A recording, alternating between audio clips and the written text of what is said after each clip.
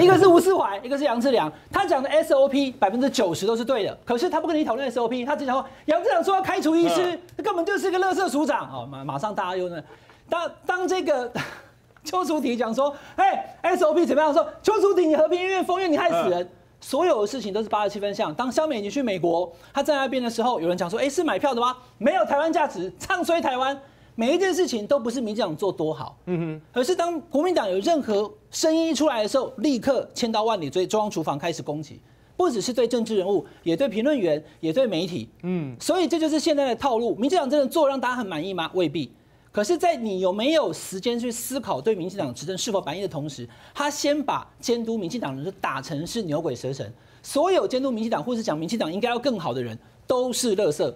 所以这个时候呢？因为我更讨厌你的对手，所以自然我就把我的支持度跟票投到你的身上。这就是从韩国瑜跟蔡英文总统在选举过程当中所得到的套路。